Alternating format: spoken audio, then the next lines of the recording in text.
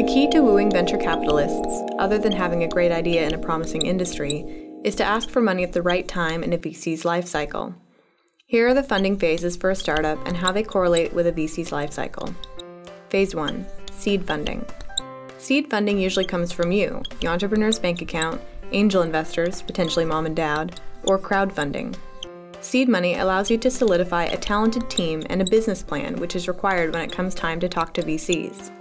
Right now, a company called Neptune is raising seed money through Kickstarter with plans to beat Apple to making a smartphone the size of a watch. Phase 2 Round 1 of Funding.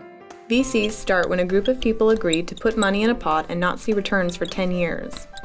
If the VC is worth 100 million, then in round 1 they will invest about one third of the fund in a variety of companies. As an entrepreneur, this is when you want your business idea to be noticed and funded.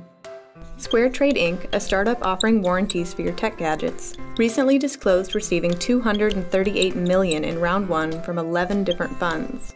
Phase 3 Round 2 of funding. Provided your business is doing well, you may receive a second round of funding after three years.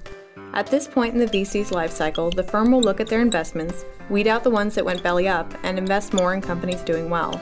Photobucket recently went in for an additional, and they claim last, round of funding from VCs for somewhere between 5 and 10 million.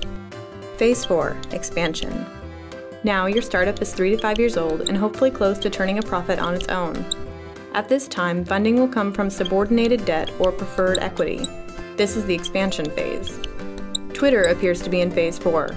After receiving 15 million in 2008, it's waiting to IPO until it can earn steady profits for an entire year. This growth money doesn't come from VCs, but helps startups push past the funded phase into the next level, which is Phase 5 IPO or sale. By now, your startup is 5 to 10 years old. You've either made it or folded. Now the venture capitalists are ready for their payday when you sell or go public. Most VC firms enjoy a 700% return on their investment in companies which go public. However, many of their investments won't make it to phase 5.